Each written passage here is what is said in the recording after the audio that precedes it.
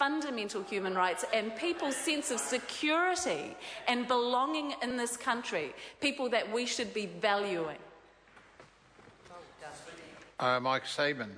Thanks, Mr Speaker. Um, I'm very pleased to take a call on the immigration mass arrivals amendment bill. Steer a little clear of some of the rhetoric from the Greens. Nothing unusual there.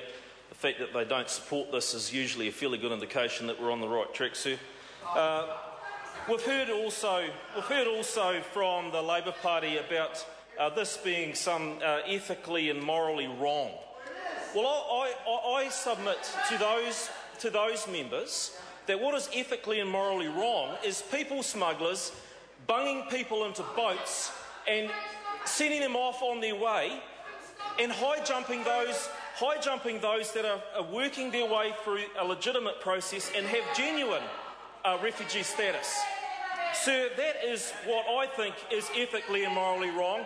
And to do nothing about that, sir, to do nothing about that uh, would be an affront to those who actually are looking for genuine refugee status, those 750 per year that we uh, do, sir, uh, look to address uh, under the UNHCR uh, provisions.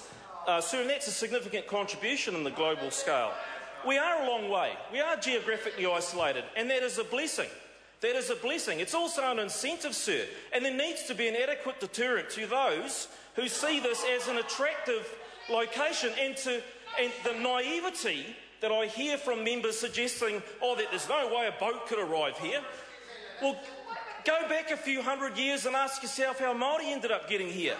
What, did they fly a jumbo jet over, did they? Take a look at those that have rowed across the Tasman. Take a look at those who have kayaked across the Tasman. To suggest that it can't be done is just ridiculous. And, sir, at $50 million for a mass arrival, at $50 million for a mass arrival, I bet you, sir, sorry, not you, I bet members and, and, and, and people in this House that the first people to be up on their hind uh, uh, legs about doing nothing about it would be the very Labor Party that are opposing the fact that we're doing something about it now. Wouldn't that be an ironic uh, thing to do, sir? But it's really a case of how the Labor Party operates because this government actually deals with the challenges. We actually do what the, what the New Zealand public expect us to do. We don't just pick the winners, we actually do deal with things as they arise because we have to, and that's what we're expected to do. Whereas the, the team on that side, if I can call them a team, they're fairly dishevelled, uh, they choose, sir, to just pick the winners, ignore what they want to, push to one side things like the Canterbury earthquake or whatever else when it suits, pull it out of the bottom drawer and throw that one up when it does. And see, this is another good example of a party that would, would criticise us like there was no tomorrow we were we to do nothing. And, sir, I think deep in their hearts they know that this is something that must be done, and I'm sure they can find it within themselves to support this bill. Sir, I commend the Select Committee for their work on it and the Minister uh, for the way in which he has uh, uh, uh carried himself in this bill. Sir, I commend it to the House. Right Honourable Winston Peters. Speaker, in the early Maori history, when the first canoe passed